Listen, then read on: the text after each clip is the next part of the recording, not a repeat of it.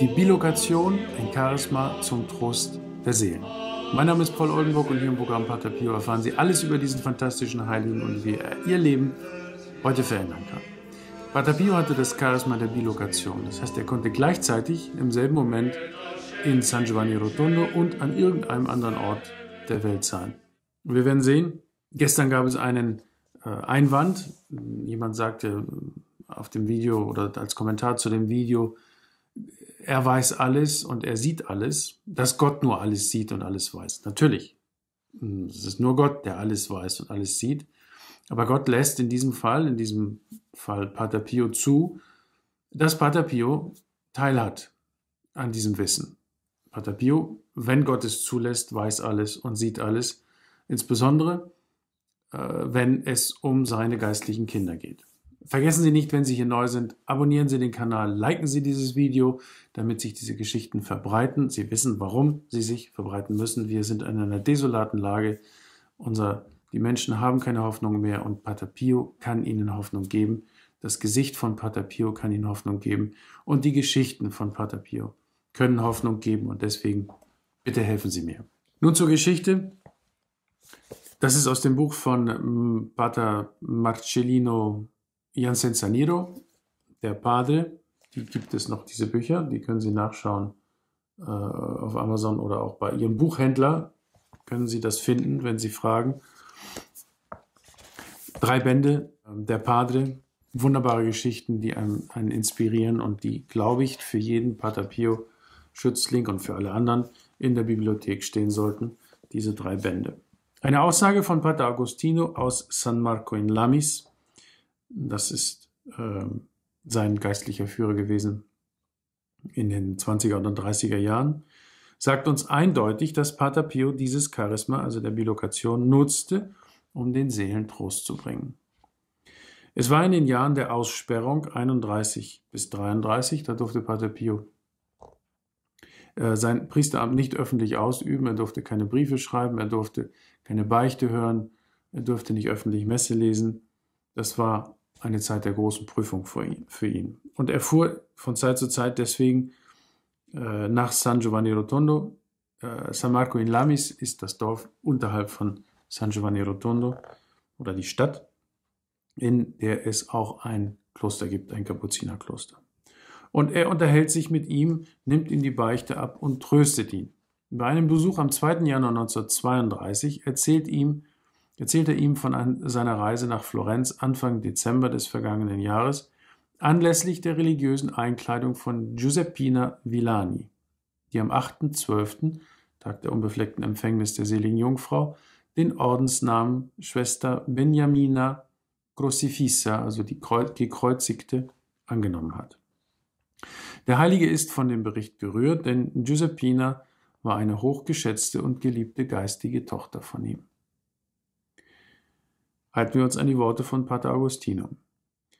Da mir in Florenz eine Ordensfrau gesagt hatte, ihr sei nach der Kommunion Pater Pio erschienen, um sie zu trösten und zu segnen, wollte ich mich bei ihm vergewissern. Ich fragte ihn, du reist wohl des Öfteren auch nach Florenz? Er sah mich an und lächelte. Ich fügte hinzu, eine Schwester hat mir das und jenes erzählt, stimmt es? Ja, Padre antwortete er demütig.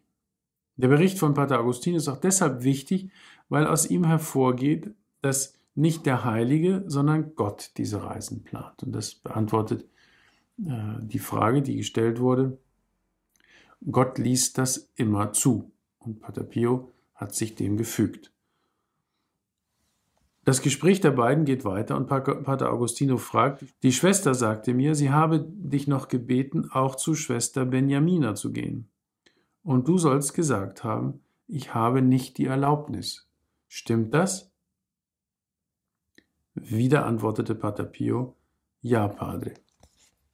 Und das zeigt die völlige Vereinigung, die freiwillige Vereinigung mit Gott, die Äh, er ist dem Willen Gottes völlig untertan und Gott weiß am besten, wen Pater Pio besuchen muss, um zu helfen und bei wem das nicht der Fall ist. Und das weiß Gott besser in jedem Fall als jeder andere. Und eine weitere Geschichte von Bilokation. Giuseppe Vitiello, am 3.1.1928 auf Ponza geboren, erzählt uns folgende Geschichte, die er im Sommer 52 erlebte. Ich war Seemann und arbeitete auf einem Tankschiff. Eines Nachts geschah mir mitten auf dem Atlantik, fünf Tage nachdem wir Gibraltar hinter uns gelassen hatten, etwas Außergewöhnliches. Ich machte gerade eine unruhige Zeit durch. Jeden Abend vor dem Schlafengehen betete ich und machte meine Gewissensprüfung. Also er war da schon sehr viel weiter vielleicht als manch einer von uns, aber er war zumindest der, einer, der wusste, dass das dazugehört zum Christsein. Und jedes Mal sagte ich mir, ich habe nichts Schlechtes getan und dennoch finde ich keine Ruhe. Ich finde auch kein Mädchen, mit der ich eine gute Ehe planen könnte. Ich schlief ein, erwachte aber, als ich spürte, dass jemand in meiner Kabine war.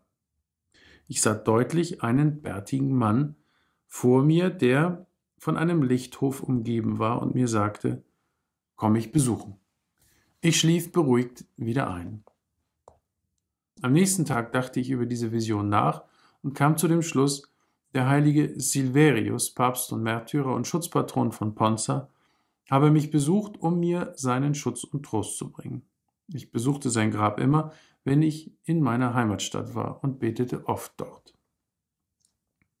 Seni ist ein Mensch auf der Suche und er braucht Hilfe. Am Ende meiner Reise kehrte ich dort nach Cagliari, wo meine Familie schon lange lebte, zurück. Dort hörte ich zum ersten Mal von Pater Pio. Herr Crespellari, Leiter der örtlichen Gebetsgruppe, erzählte mir von der Spiritualität dieses Kapuzinerpaters. Und wir sehen, es wird wieder von Pater Pio erzählt. Deswegen ist es so wichtig, dass Sie diese Videos teilen, damit die Menschen von ihm hören. Und nehmen Sie sich jetzt vor, dieses Video oder irgendeins, was Sie aus dem Kanal aussuchen, teilen. Sie wissen, dass Sie dann eingeschrieben sind in die Messe am kommenden Freitag. Wir lassen jede Woche Messen lesen für die Pater Pio Schützlinge, für die Gruppe die diesem Apostolat noch etwas mehr helfen. Wenn Sie mehr wissen wollen dazu, schauen Sie in den Link unterhalb des Videos. Aber alle, die sich neu abonnieren, sind eingeschrieben in die Messe am nächsten Freitag und die, die schon abonniert sind und ein Video teilen, sind auch wiederum eingeschrieben in die Messe, in eine weitere Messe am kommenden Freitag. Und nicht nur diejenigen, die teilen, sondern auch die, mit denen sie teilen, sind eingeschrieben. Also die das sehen, äh, weil sie geteilt haben, sind eingeschrieben in die Messe. Und deswegen lassen sie diese großen Früchte für sich selber und auch für die anderen, die ja nichts anderes sind als ein Akt der Nächstenliebe, lassen sie die nicht verstreichen. Ich erinnere mich besonders an diesen Satz, sagt der, dieser Herr weiter. Pater Pio ist ein Mönch, der es versteht, die Beichte zu hören. Ich habe es an anderer Stelle schon mal gesagt. Bitten Sie Pater Pio vor der Beichte, wenn Sie die zur Beichte gehen, dass er Ihnen hilft, eine gute Beichte abzulegen. Ich begann mit dem Gedanken zu spielen, nach San Giovanni Rotondo zu fahren, um mit Pater Pio über meine Sorgen zu sprechen. Die Gelegenheit bekam ich, als meine Cousine in Mercogliano bei Avellino heiratete. Am nächsten Tag war ich in San Giovanni Rotondo. Ich meldete mich zur Beichte an und hatte nach acht Tagen das Glück, den Heiligen zu treffen. Er half mir bei der Gewissensprüfung. Unter anderem fragte er, Hast du gestohlen? Ich verneinte, aber er warf ein, und im Krieg, als die Alliierten landeten, hast du da nicht gestohlen? Ich antwortete, Padre, es war eine Notwendigkeit. Er sagte streng, die Sachen gehörten dir nicht. Dann fügte er hinzu, du gehst nicht zur Messe. Wenn du an Land gehst, besuchst du wohl deine Familie, aber zur Messe gehst du nicht. Er befreite mich von allen Flecken, die ich auf dem Gewissen hatte. Zur Buße gab er mir die Aufgabe, 15 Tage lang jeden Tag 15 Pater Ave Gloria zu beten. Ich fand etwas von meinem Frieden wieder. Ich fuhr 1954 noch einmal nach San Giovanni Rotondo zur Beichte.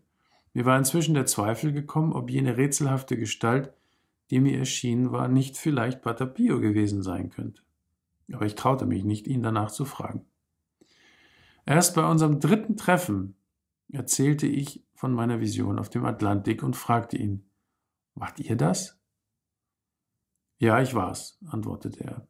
Und er fügte hinzu, ich habe dich gerufen, um dir den rechten Weg für dein Leben zu zeigen. Jene Atmosphäre voller Spiritualität, die man in San Giovanni Rotondo atmete, begann mich immer mehr in, Band, in ihren Band zu, zu schlagen. Ich fasste den Entschluss, dem dritten franziskanischen Orden beizutreten. Am 4. Oktober 1959 legte Pater Giovanni Crisostomo Zarella mir in der kleinen Kapelle des Klosters das Skapulier über.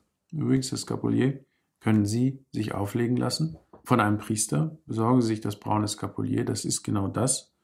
Und mit dem Skapulier sind große Verheißungen verbunden, die eigentlich sich keiner entgehen lassen sollte. Also schauen Sie nach, das braune Skapulier, das können Sie kaufen in den verschiedenen Möglichkeiten, in verschiedenen Online-Läden oder auch in einem vernünftig sortierten Kirchenladen. Und es wird aufgelegt von einem Priester mit einem Gebet.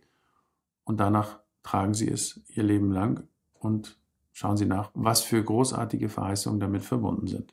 In der Zwischenzeit hatte ich in San Giovanni Rotondo ein Mädchen kennengelernt. Eines Tages sagte Pater Pio zu mir, heirate, ich werde euch trauen. Und so kam es auch. Pater Pio gibt Orientierung in jeder Hinsicht. Und das ist die Hoffnung, die wir verbreiten müssen, denn, denn das ist die Kirche. Die Kirche ist dafür da, uns zu führen auf dem Weg zum Heil. Leider erkennen wir das heute nicht mehr. Viele Bischöfe, viele Priester haben es vergessen, dass das wirklich die Kirche ist und die Aufgabe der Kirche ist, sich nämlich einzig und allein um die Seelen zu kümmern und nicht um politische Fragen und um alle möglichen Dinge und schon gar nicht um das Klima, sondern darum. Und Pater Pio ist das Beispiel eines Priesters, wie Johannes Paul II. sagte bei der Heiligsprechung. Priester, schaut euch diesen Mann an. Er ist das Vorbild für euch. Und wenn der Papst das sagt zu seinen Priestern, dann sagt er das auch zu uns, den Gläubigen, die wir uns ein Beispiel an Pater Pio nehmen können und wir können uns an seine Kutte werfen und an ihm festhalten und ihm bitten, führe uns, wie er das zigtausend, hunderttausend, millionenfach gemacht hat. Gegrüßet seist du, Maria, voll der Gnade, der Herr ist mit dir. Du bist gebenedeit unter den Frauen, und gebenedeit ist die Frucht deines Leibes, Jesus. Heilige Maria, Mutter Gottes, bitte für uns Sünder, jetzt und in der Stunde unseres Todes. Amen.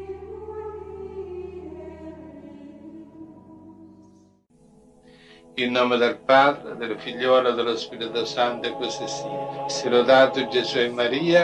Et ascendit in cielo, sede